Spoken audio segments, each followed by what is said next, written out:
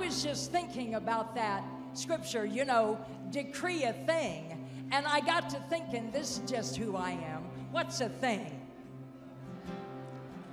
Tell your neighbor, what is a thing?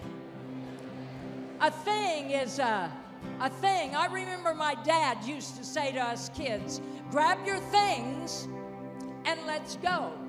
He didn't name them off, he didn't count them. He said, just get your things and let's go.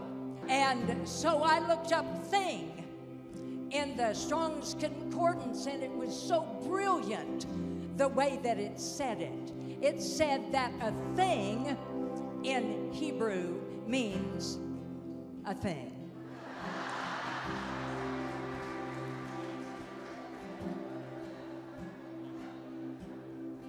And so I looked it up in the Greek, and it means a thing. But it says, decree a thing, and it shall be established.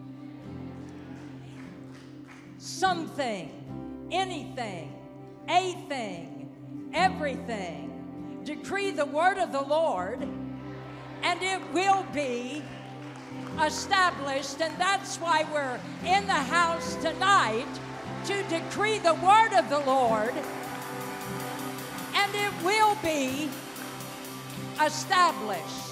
So I looked up that word established. What does that mean?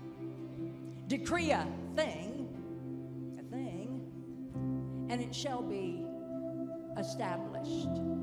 That means you decree a thing, and God's going to put it on His timeline. And when, and, and Dutch teaches on this too, so I don't want to mess it up, but he has four words for time chronos, kairos, heros, and pluros.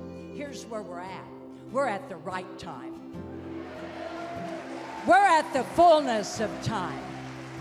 So, what, what happens when you decree a thing? God establishes it. In the Spirit, He puts it on His timeline.